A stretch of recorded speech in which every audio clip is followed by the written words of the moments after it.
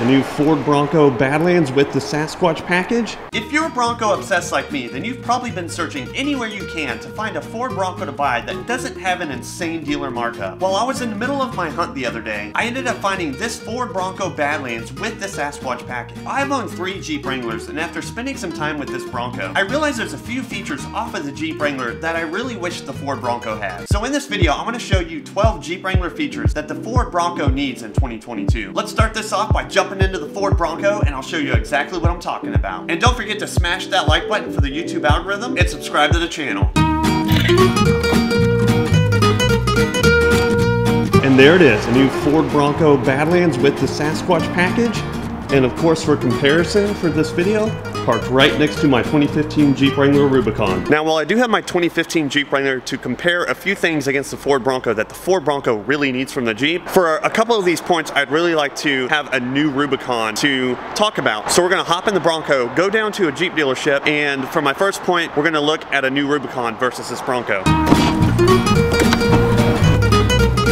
So I was about to put this Bronco in drive, but I forgot to push the most important buttons you have to push before you take off in the new Bronco. You gotta turn off this annoying start stop feature and make sure you turn that trash control all the way off. And here we are at the Jeep dealer. Let's see if they got any Rubicons on the lot. See a uh, Rubicon Gladiator. Nothing over there. It does look like if we go across the street here, we do have some in inventory that we can look at. So let's go across. There's a pretty sweet orange one right there. Really like that color. I found a new Rubicon, so let me show you my first point. Now, the one thing that the Jeep Wrangler has that the Ford Bronco really, really needs is right there, a solid front axle. Because Ford thought it was a good idea to go with independent front suspension on the new Bronco. And while there are some good things about having the independent front suspension on the new Bronco, you know, Ford claims that it handles better on the street and all that stuff. And honestly, driving a JL Rubicon and an independent front suspension Bronco, you don't really feel a huge difference on the road, to be honest. And I think the average person is really not going to be able to tell. Jeep has had literal decades to perfect the handling on these Jeep Wrangler Rubicons with a solid front axle. And while Ford claims the new Bronco does have more articulation off-road than the Jeep Wrangler does, I think that's totally false. You see, I was watching a video where TFL Off-Road compared the Bronco to the Wrangler, and there's this one clip I want to show you where they go over the same obstacle And the Jeep,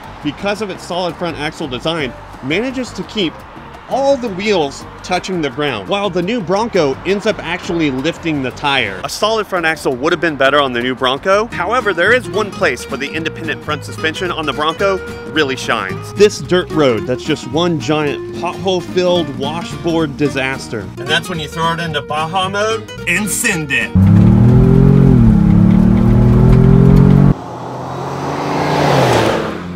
Now, while flooring it in Baja mode was absolute fun, that brings me to point number two.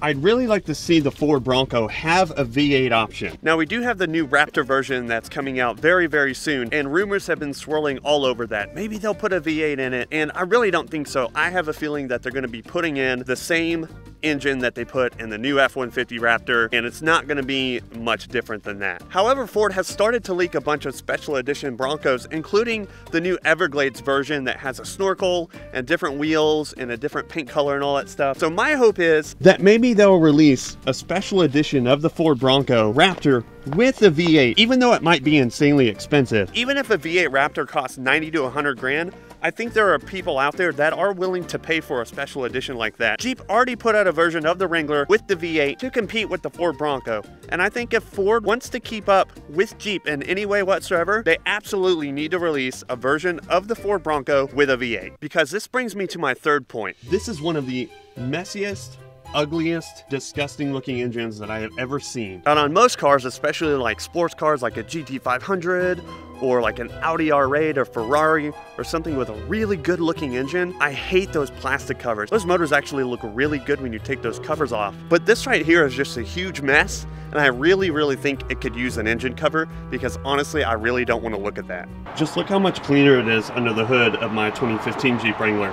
And this is with the engine cover on, and this is with the engine cover off. And you can see with just a quick glance, there's not even close to the mess of wires and things that you saw on the top of the Ford Bronco engine. Much cleaner, very cool, and I would even run this without the cover on. So we're taking a break from this list style video to, to show you a couple little, I will call them quirks and flaws. When I hit the button to roll down the window, goes down all the way, and then it says driver door ajar. So when I roll down the window, it actually thinks the door is open. And then when I try to roll it back up, goes back up. But as you can see here, now it doesn't close all the way. And the only way to fix it is to open the door, shut it, and the window goes all the way back up.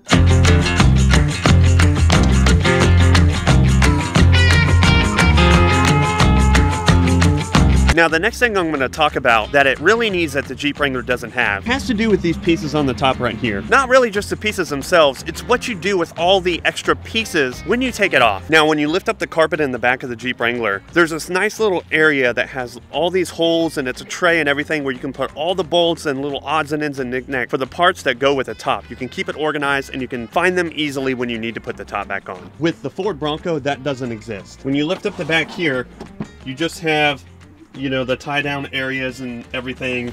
And then if you lift this up, all you have is the jack and everything for the spare. There's nothing in here to keep all of the bolts and little miscellaneous pieces to the top. So with that, you have to figure out your own solution for keeping these bolts. And while we're taking this moment to talk about the top, let's jump into another point that I have that the Ford Bronco needs that the Jeep Wrangler has. Although the top is really nice and sleek and easy to take off, the one thing it's missing is rain gutters. And I think you'll agree with me, I've seen tons and tons of videos with the Ford Bronco of rain and everything just pouring in the moment that you open the door to the Ford Bronco. On the Jeep Wrangler, along the top edge here, it has just a little lip of a rain gutter that comes across the doors. That small little lip along the edge of the tops just makes a huge difference in keeping the water out of the cabin when you're opening the door. And the Ford Bronco desperately needs it. We're in a new spot with the Bronco at the lake.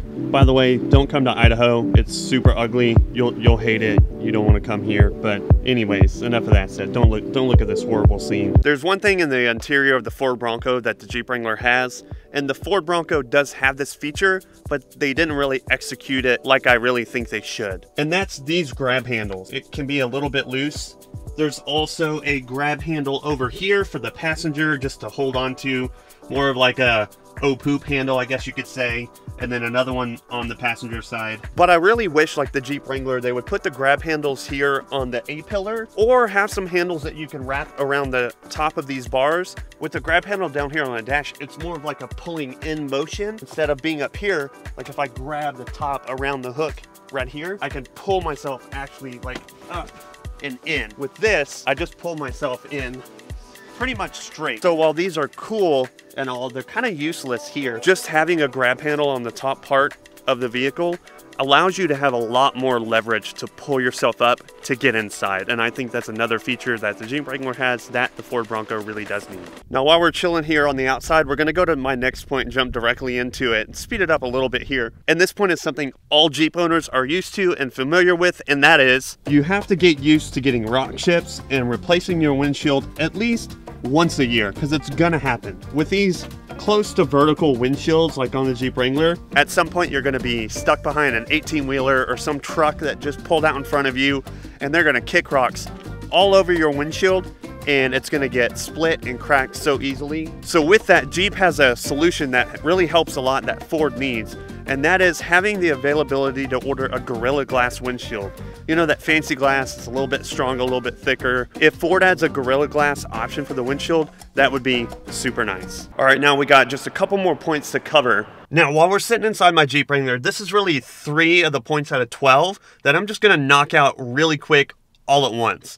The first thing out of these three grouping, whatever. I wish that Ford Bronco right there with the V6 came with the option of a manual transmission. Especially for those who want to order the two-door Bronco like I drove before with the manual transmission and the V6, I would love to be able to order a two-door Bronco with the V6 and a manual transmission just to have for a fun, classic feeling vehicle because that two-door looks so much better than the four-door I, I think in my opinion. And while I did drive it with a manual in the four cylinder, I really do think it still needed a little bit more power. And if you can combine the V6 with a manual in a two door, I think that would be perfect. Now with this group, in the manual transmission, the Ford Bronco really needs this. A good old fashioned handle, pull it up and down, handbrake. And the last thing in this combo that it really needs is a manual tachometer. The Ford Bronco has the tach, that's the electronic one, and it goes up and down, and it's, you know, easy to read. But along with this manual transmission, manual handbrake, we also just asked for a manual RPM gauge. Just give us that. Thank you, Ford.